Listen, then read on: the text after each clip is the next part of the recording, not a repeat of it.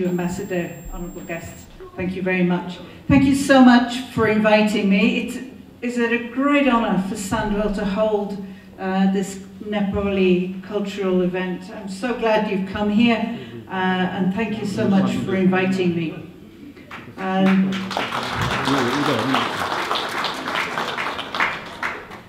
uh, what do I know about Nepal? Well, a little bit, not a huge amount. Nepal was never a British colony, but there's always been a special relationship for over 200 years. I think we should be very proud of this and celebrate it. And this is probably best exemplified by the relationship with the British Army, in particular the international revered Gurkhas. In the, those 200 years, Nepalese Gurkhas have served with the British Army in many battles and most notably in the two terrible world wars of the last century. They were awarded numerous medals, including the 13 Victoria Crosses. Their reputation for discipline, skill and bravery is well known all over the world. Nepal is a country quite big actually, 800 miles long, 200 miles wide, and includes a huge range of geography, rising from the Terai in the south, the grasslands and the rice fields, including the stunning Chitwan National Park, to the highest peaks of the Himalaya. Eight out of the ten highest mountains in the world are, are at least partly in Nepal. And this, of course, includes the famous Sagarmatha, usually known as Everest, that's 8,488 metres. It's huge, it's enormous. Um, it was my great pleasure to visit Nepal on two occasions. Uh, this is quite some time ago. Uh, I was so happy to, to, to land finally in Kathmandu. I practically skipped across the tarmac, collected my backpack uh, and headed off to the Thamel district. This was the backpackers region. Not the most salubrious, but absolutely great fun. I really was happy. I arrived just before Diwali, trying to get a trekking permit. At that time of uh, the year is not easy, believe me, but managed to do it and stay for some of the Diwali celebrations. Uh, believe me, they were noisy, but it really was fun and they, it was wonderful how we were included in all sorts of things. That was the beginning of a four-month trip going down from Nepal, India and into Sri Lanka. Uh, I, we had a few days in Kathmandu and in the area. I saw some temples, just wandered around the cities, looking at some of the old buildings, just experiencing life in the markets. Um, went down to Chitwan, Again, as you say, absolutely beautiful. We saw loads of animals. We saw, I think, a place that was actually um, looking at little alligators, forget what they're called. The following day, the driver asked us to uh, go in the river to mark out the spot to drive the truck across because it had rained in the night. I forgot about the alligators we'd seen the, the day before. Anyway, didn't get bitten. Um, it was a bit difficult, the current was strong, so I had, had to hang on to a bull cart to, uh, to get across. That was an adventure, it was stunning, it was beautiful, I'd do it again.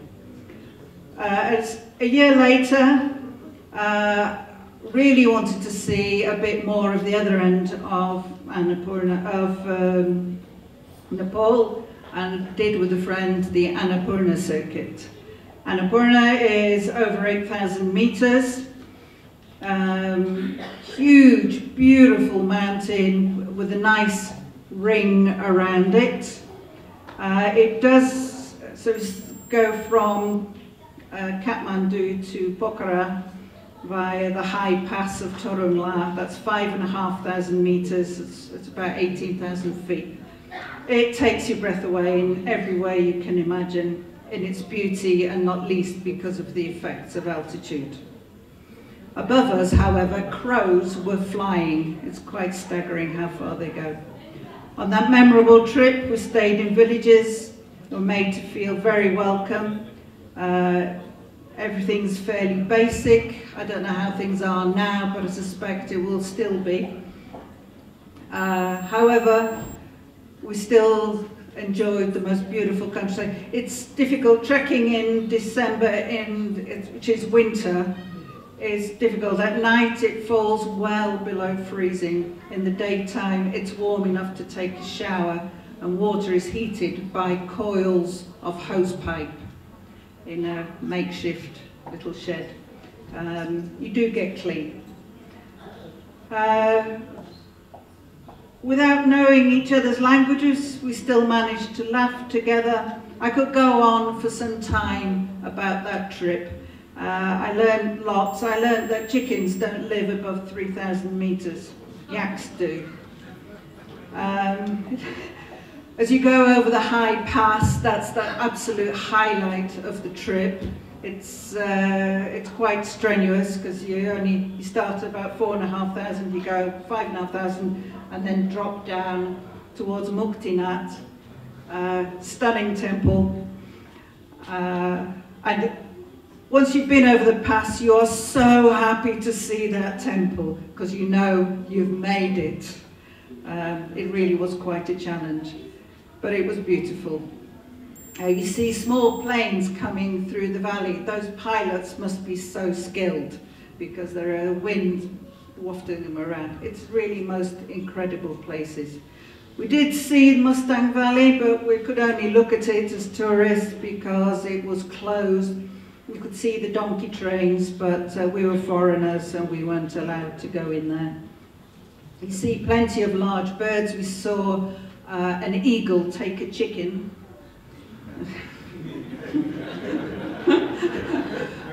Believe me, you look above that. anyway, since those trips almost 30 years ago, Nepal has undergone a number of changes.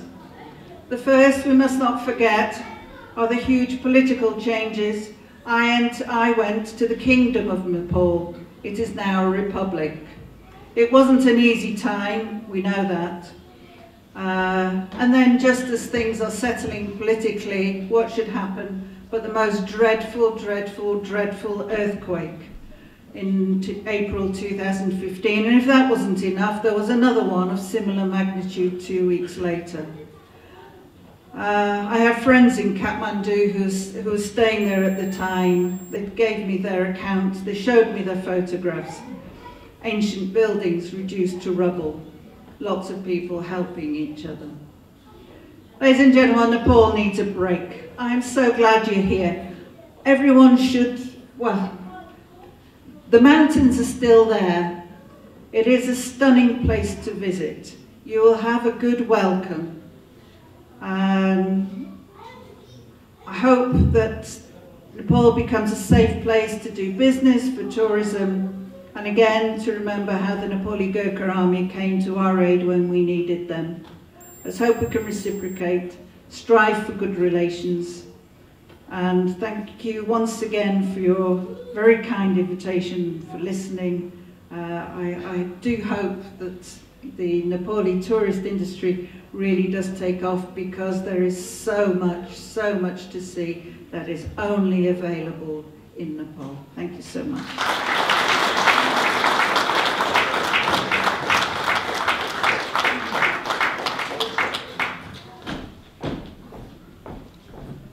Thank you very much, Honorable Mayor Dr. Ann Jaron.